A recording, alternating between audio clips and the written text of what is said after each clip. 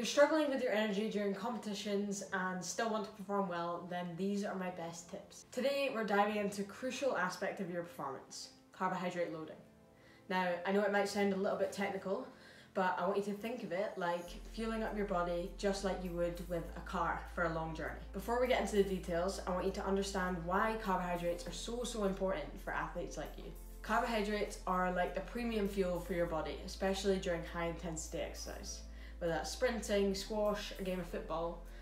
And your body stores these carbs as glycogen in your muscles and your liver. And these act as a reserve for that extra burst of energy that you need. But here's the catch these glycogen stores are limited. So if you've ever felt like you've hit a wall during a game, that might be because you didn't have enough stored carbohydrate in your muscles. Think of it this way, okay? Just like a car needs the right fuel before a long journey, your body needs the right kind of fuel too. And that fuel for you is carbohydrate. Now, here's the interesting part. When you eat carbohydrates, it takes time for them to go through your digestive system and reach your muscles and liver. Now, this process isn't a quick pit stop. It's more like planning your journey days in advance. So instead of consuming carbs right before the game, you should start fueling up 24 to 36 hours before your competition. And this strategic approach is what we call carbohydrate loading. Now, carbohydrate loading doesn't mean stuffing yourself with pasta the night before. It's about incorporating extra carb rich meals into your diet in the lead up to the big performance. So, for instance, you could add a bowl of porridge with chopped banana or you could add a delicious fruit smoothie with honey and you add these on top of your regular meals. So it's about making smart choices that boost your energy reserves. Now your need for carbohydrates isn't constant, so on the days when you're less active, you won't need nearly as much. But on the days where you're pushing yourself, you're training harder, or you're competing, then you need more fuel.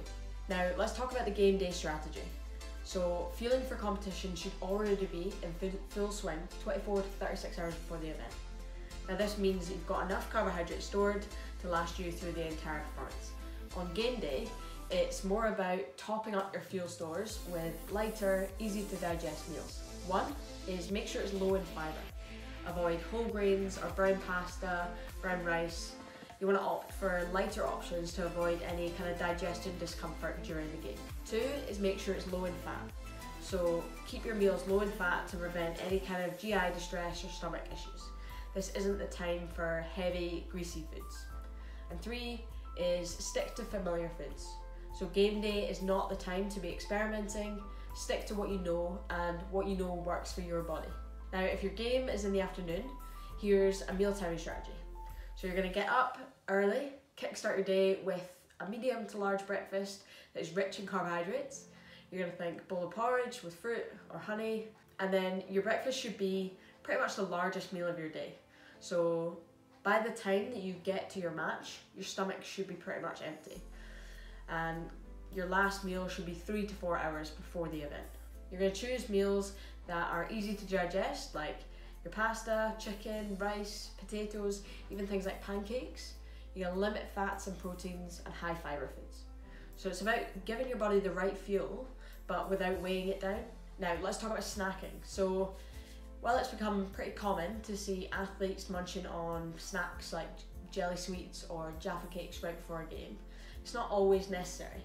So if you've properly loaded up on carbohydrates in the lead up, you might not need them. However, a caveat to that is if you have a go-to snack that you swear by and it sits well with you, then that's perfectly fine, okay? Listen to what your body needs. During the game or competition, staying hydrated is also really, really crucial. So you want to aim to take in 150 mils of fluid every 15 to 20 minutes, so roughly two to three mouthfuls.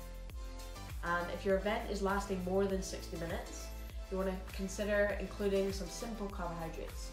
It could be a sports drink, a few jellies, Jaffa cakes, or half a banana. So to wrap it up, carbohydrate is your primary fuel. Adjust your carb intake based on your activity level. Start fueling for your competition well in advance and have a well thought out game day plan.